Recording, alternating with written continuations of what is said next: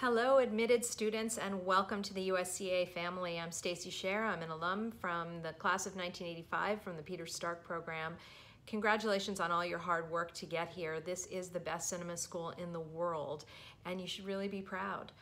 I look back so fondly on my time at USC, and I'm excited for your time at SCA. You're about to join the most incredible community.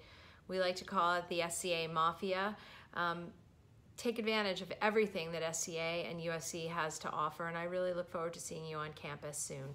Stay safe and healthy.